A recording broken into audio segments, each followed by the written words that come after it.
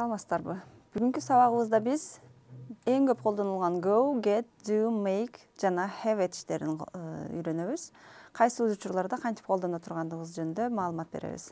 Булар эң көп колдонулган этиштер болгон үчүн кээ бирде булардын колдонушунда көпчүлүк каталарды кетиришибиз мүмкүн. Мисалы go to go on go for go андан кийин ing формаларында келет.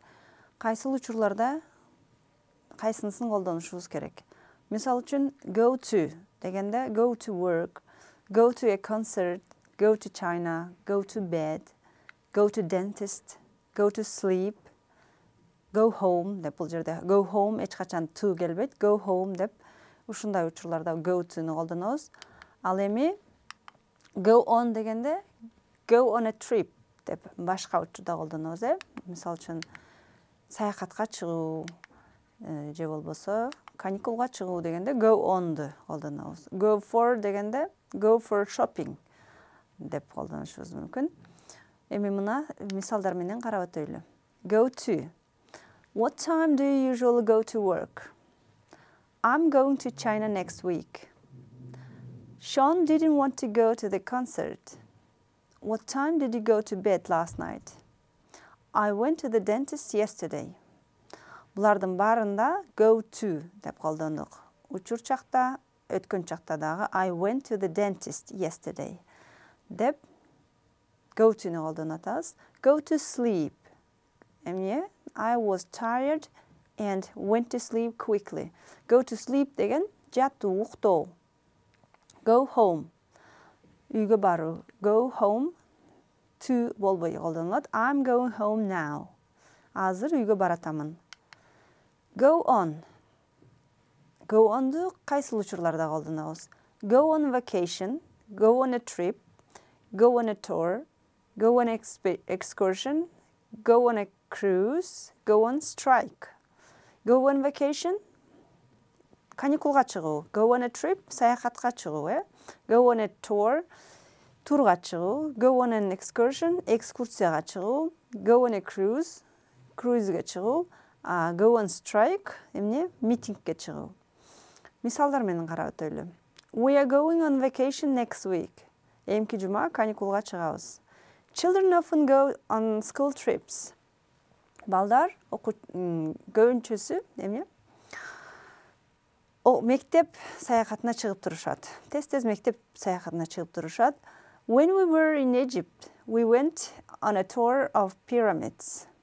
египетте болгонубузда пирамида туруна чыктык workers at the airport have gone on strike эмне дейбиз аэропорттогу жумушчулар митингке чыгышты go for go somewhere for бир жерге бир нерсе үчүн баруу go for a walk go for a run go for a swim go for lunch go for dinner бул жерде эске ала турган нерсе тамактануу мисалы үчүн эртең мененки нанүштөгө эмне түшкү тамакка кечки тамакка дегендерде э колдонулбайт. Go for lunch go for dinner жалпысынан эле go for breakfast деп. Ал эми walk run swim дегенде э артиклин колдонобуз.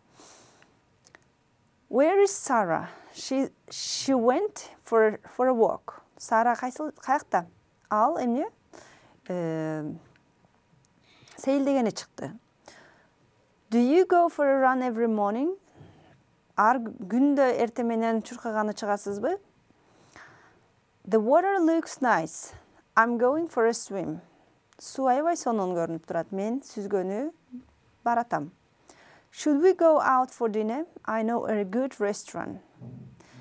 Бүгүн сырттан тамактанайлыбы мен жакшынакай ресторан билемин дедик go verb plus ing. Мисалы үчүн i go shopping i go swimming he is going fishing we went skiing she went эмне десек болот running.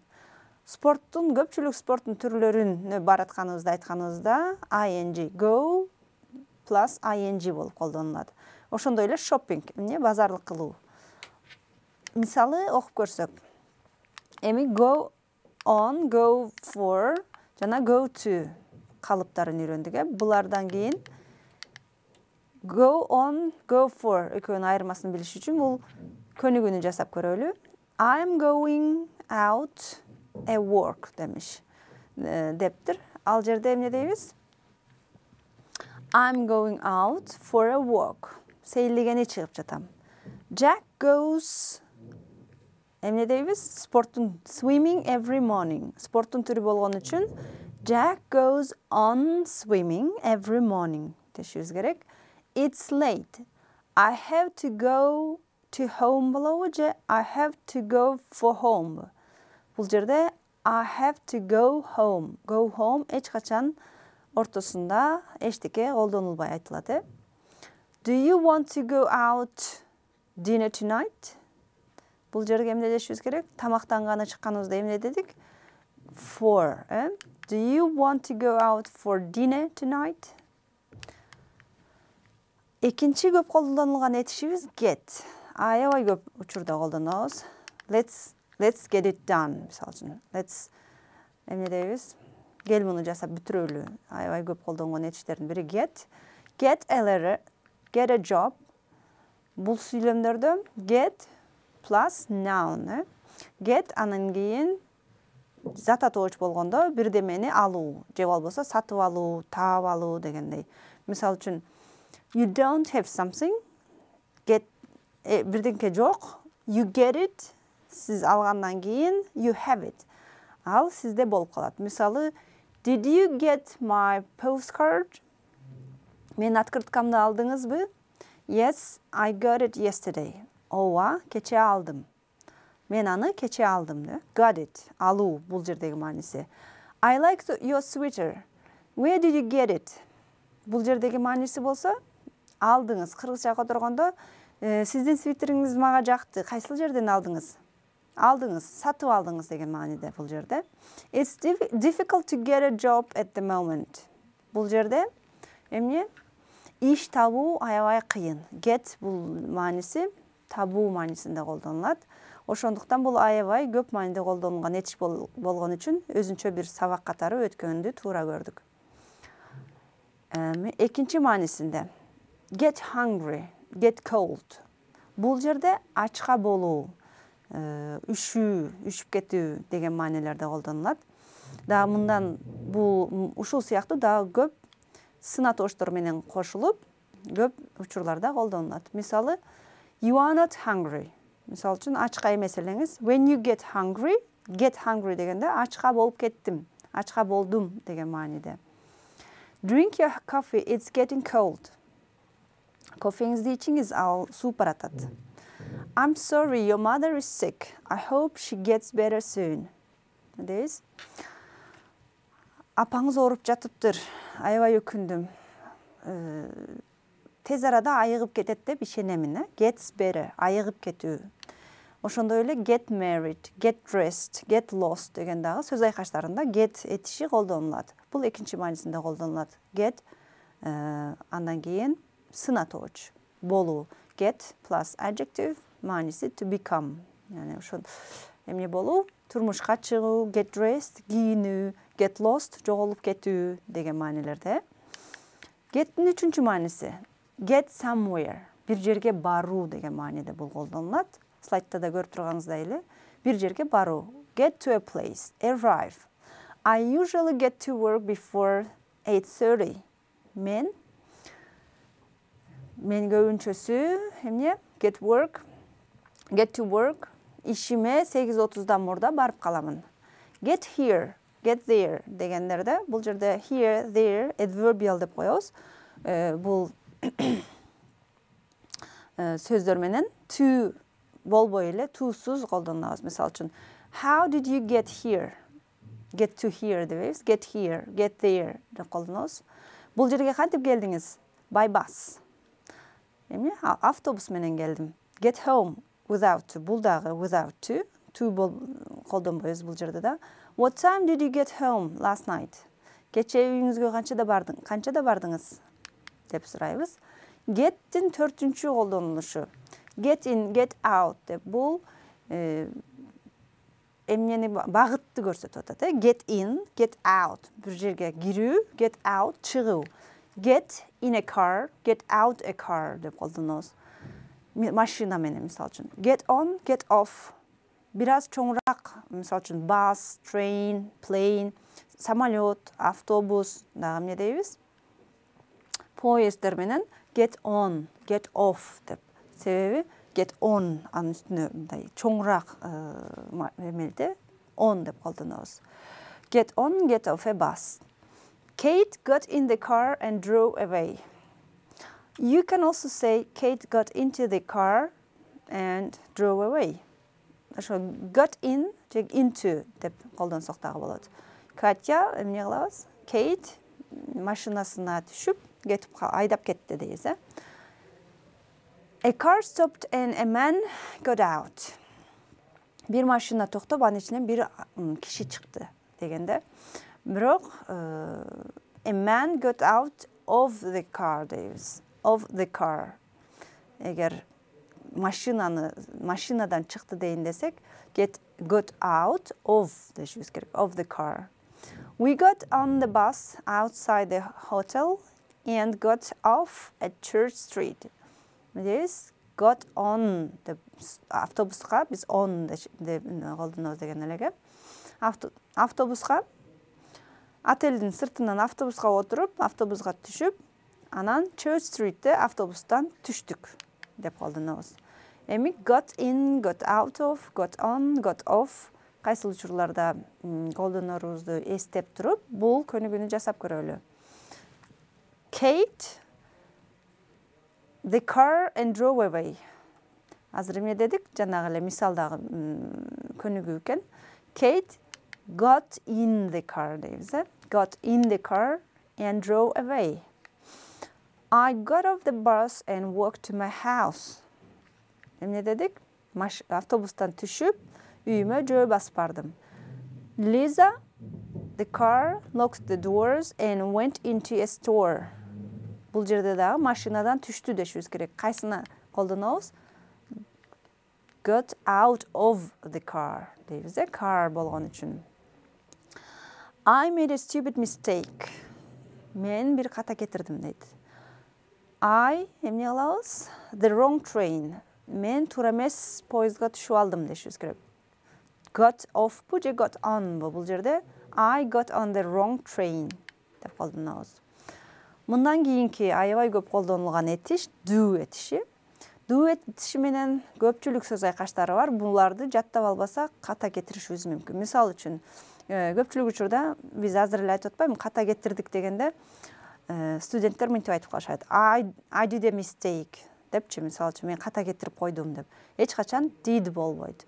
Англис тилинде collocation деген сөз айкаштары бар. Collocations деп коет.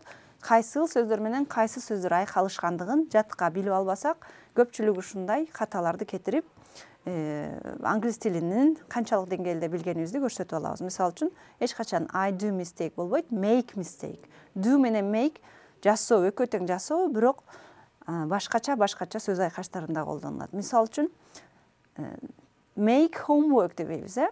Мен үй тапшырмасын жасадым дебейбиз do homework дейбиз азыр мына слайдта карап тургандай эле do менен колдонулган сөздөрдү көрөсүздөр. I do homework. Do somebody a favor. Бирөөгө жакшылык кылуу. Do the laundry. Do the dishes. Do an exercise. Do your best. Булар мисалы үчүн do the dishes. Идиш жуу.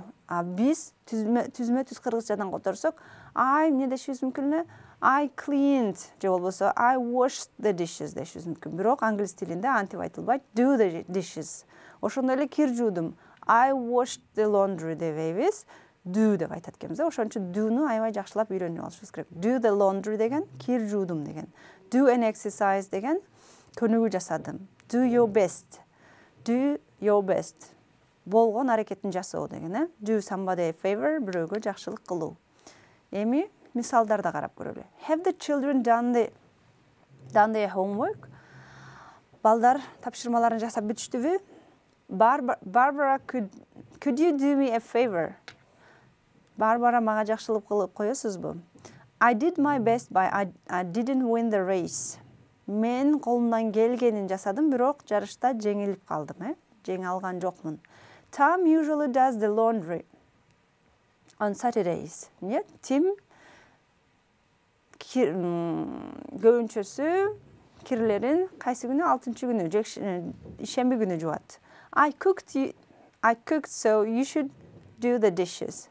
Men tamak dayardadım. Hmm, Emi sen yedişterdi juup koy. Dewat azı. Make.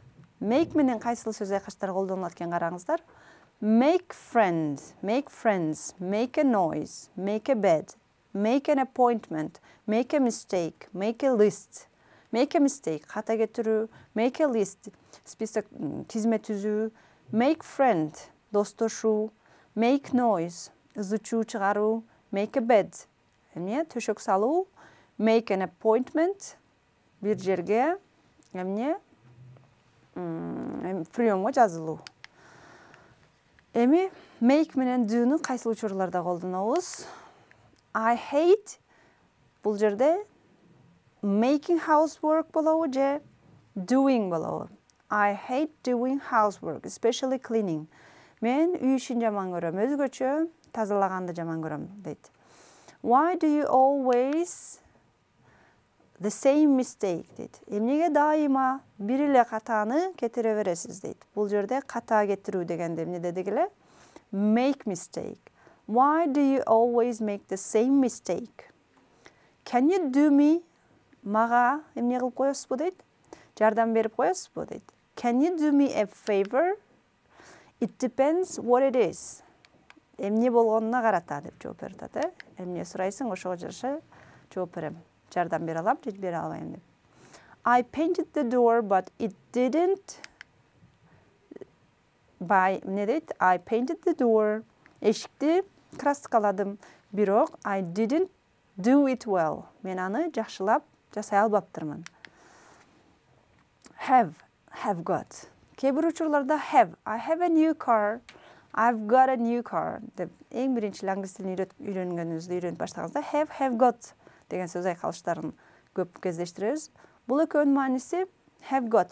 Меники i have got. It's mine дейт э менин машинам бар. бул учурда have have got экөө тең эле колдонула берет sue has long hair Sue has got a long hair. Tim mm, doesn't doesn't have a job. Tim hasn't got a job деп да айтсак болот. Ошондой эле I have a headache. I have a pain. I have a cold. I have a cough.